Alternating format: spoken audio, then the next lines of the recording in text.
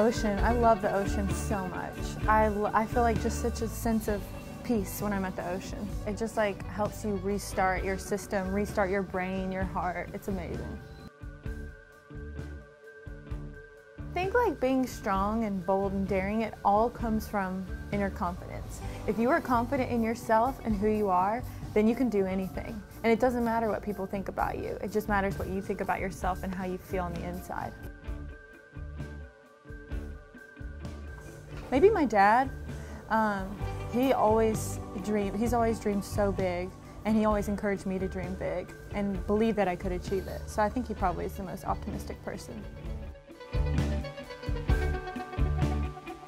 I think the most important quality in a friend is loyalty. Um, if they're loyal to you and they have your back no matter what, then that's what you need in a friend. Sometimes I tend to hold grudges it's definitely not a good thing. I need to learn how to forgive and forget and release.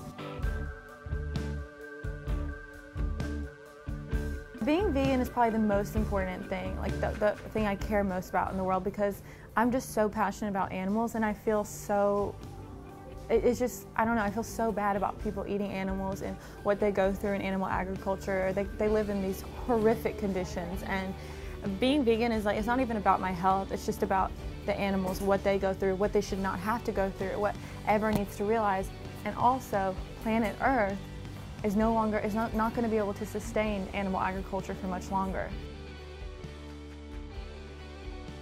I remember she made um, this dessert called ambrosia, which is like a mix of like oranges, coconut, like fruits. It's like the it's like amazing. It's like a dessert of the gods. It's so good. Oh.